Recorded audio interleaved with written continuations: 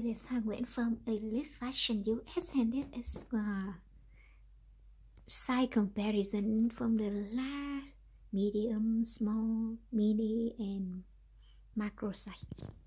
Thank you for watching.